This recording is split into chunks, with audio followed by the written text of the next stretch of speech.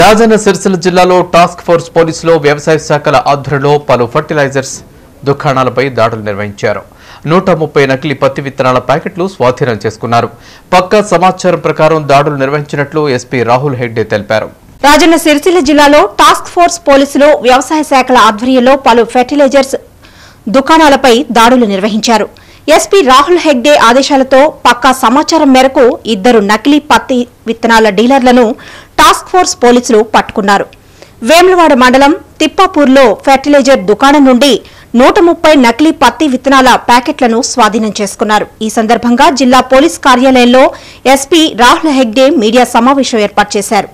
ఆంధ్రప్రదేశ్లోని నెల్లూరు జిల్లా గాలిపాలెంకు చెందిన అట్ల శ్రీనివాసరెడ్డి హైదరాబాద్లో నకిలీ విత్తనాలు కొనుగోలు చేసి వేములవాడ ప్రాంతంలోని రైతులకు అంటగట్టి సొమ్ము చేసుకుంటున్నాడని తెలిపారు.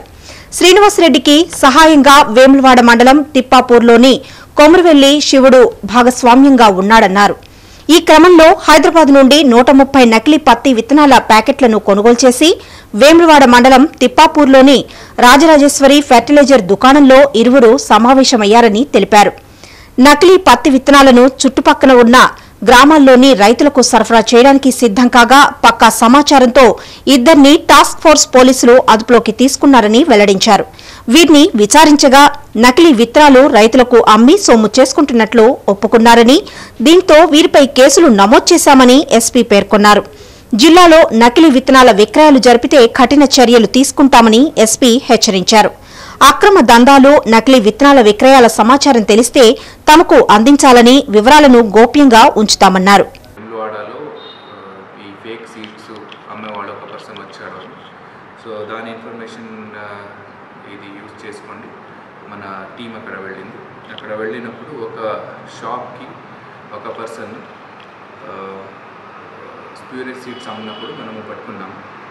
దాంట్లో మనకు వన్ థర్టీ ప్యాకెట్స్ రికవరీ అయింది. ఒకటి కల్పవృక్ష అని బ్రాండ్.